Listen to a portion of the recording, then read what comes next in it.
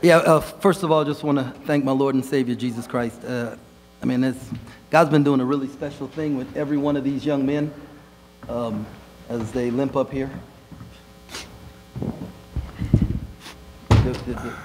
Right? Uh, he's done such incredible things uh, in all these guys' lives. I'm, I'm most proud this year of how much they've all matured as men and um, how much their care factor for each other has grown. And I thought in the second half that showed in the way they played. Okay, we remind you if you've got a question, please raise your hand. We'll get a wireless microphone to you. Please state your name and affiliation. Eric Henry, 24/7 Sports. Coach, question for you, Coach. Uh, you played this team about a month ago down in Austin, and you, I said Dylan Disu had 20 points. What was the game plan coming into tonight to really kind of limit Disu and his effectiveness? You know, I, I don't know that we limited Dylan Disu. I think he got in foul trouble, and so he didn't get to play as uh, many minutes. Um, he only played 22 minutes this game. Um, we did have, I mean, he's a first team all conference guy, so obviously there was a, a lot of attention paid to him uh, there, but um, you know, it was just sometimes uh, foul trouble causes uh, that for a young man. Over here on the left on the front row. Uh, question for both players. Dai Dai Ames comes in, gives you an electric second half. How much of a boost was that for you guys? Who would you like to answer that first? And please give us your affiliation again. No, Daddy's been huge for us, you know, even in practice. You know, he's just always had that dog in him. And for him to come out here and, you know, perform on a big stage, I'm super proud of my guy. It's just the tip of the iceberg for a really good player. Um, everybody knows how I feel about David. Day um, super proud of him. And uh, like, like Art just said, it's just the tip of the iceberg for him to play in a, the, his first Big 12 tournament game and to have zero turnovers. Like, you, you don't you don't get that from a freshman too many times, and for him to stay poised the way he did, couldn't be more proud of him. Question here on the left on the second row. David Smale, Field Level Media. Uh, for either of the players, doesn't matter which one. Just talk about the start of the second half. You scored the first seven, and the, you were in the game the rest of the way. Just talk about that. Uh, just just going in the locker room and, and Coach Taney telling us that we got to get back to being us. Uh, the biggest thing coming into us, uh, we knew we didn't want to beat ourselves. And so just getting back to being grit and grimy and uh, coming out and just playing harder than them. And uh, we think we, we let them get away in the first half by them playing harder than us, and that's just not who we are. Um, we're not going to out-talent anybody. So we got to be the hardest working team um, and the hardest playing team, and uh, we had to get back to that in the second half. Okay, we're on the left here in the front row. Scott Fritchen, Kansas State.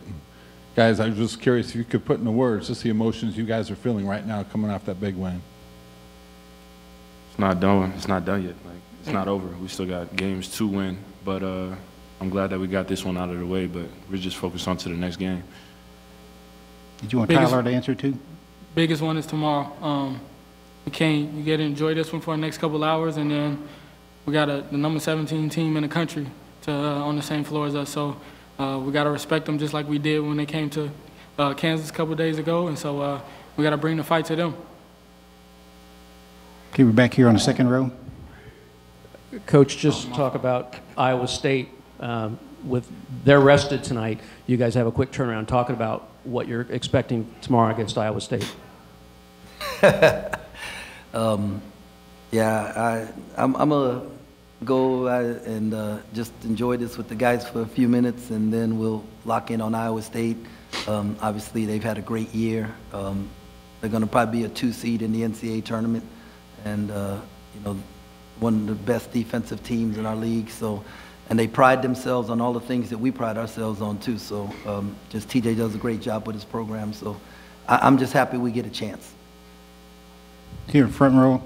Yeah, Kellis Robinett, Kansas City Star again. Jerome, what in what areas have you seen Dai Dai improve the most? You know, since he first got here on campus to now, he's playing more like a sophomore than a freshman. Um, in all areas, right? He's he's learning how to, you know, play with pace, you know, and uh, not just one speed. Uh, today in transition, I saw him look up and see numbers and pull it back, and it ended up getting us an easy bucket because he didn't just go attack one on two. Um, you know, so you just you see growth every day in him. I'm just just really proud of him. The thing I know is that he's not afraid. like he's not, ne- never afraid, and that, that, that's what I love about him. We're going to go one here on about the fifth row back, and then we'll come back to the front. Sam McDowell, the Kansas City Star. Jerome, just wondered if you could speak to uh, the, the defensive effort in the second half. Was that part of the, the halftime message? And uh, just generally speaking, or was there some specifics that you really thought that the guys locked in on? Well, I thought uh, Coach Maligi uh, put a great game plan together on what we wanted to do to be able to slow them down. And uh, in the first half, I didn't think that we were executing it the way we needed to. Um, and, you know, I just told the guys the team that was beating us was in our locker room. It wasn't the dudes on the other side. And if we could get the team, you know, get, get ourselves out of our own way, then we would have a chance in the second half. And, and they did it. And so. Let's go to the TV platform in the back, and then we'll come back to the front. Coach Glenn Kinley, KSNT 27 News. Um, I'm curious, you had a hug with Brett Yormark as you were going to the tunnel.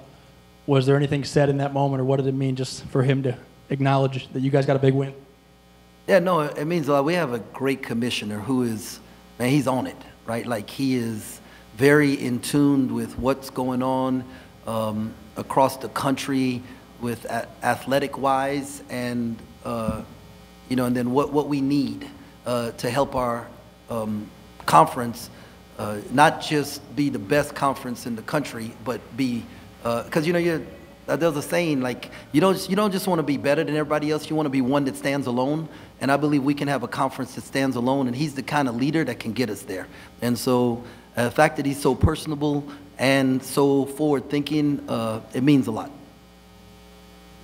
You had quite the moment with Jareem heading to the locker room there. You guys were both fired up. Just curious what what that guy means to you and what were the emotions in that moment? Um, it's like my big brother.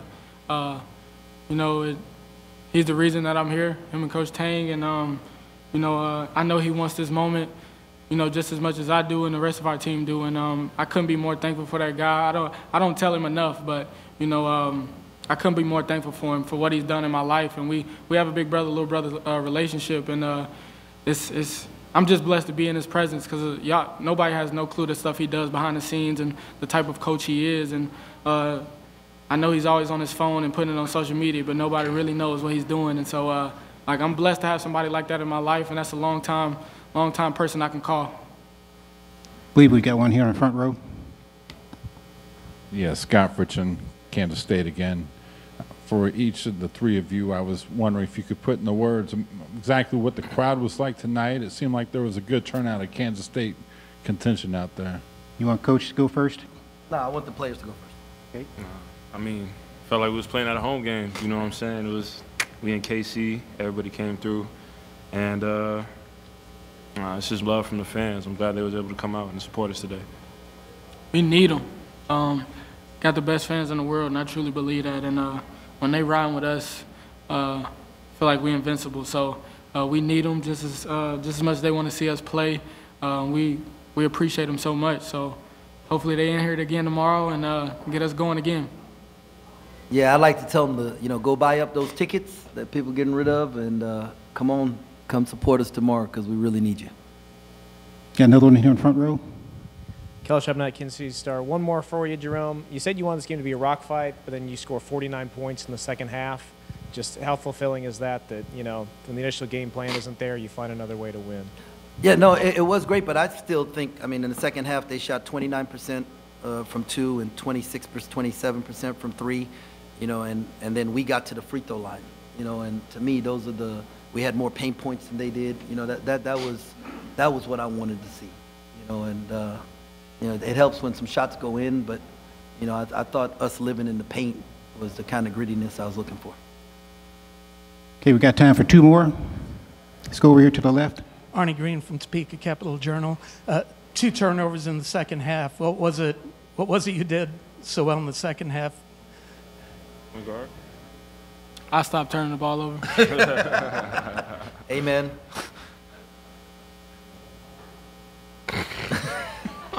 One, one more.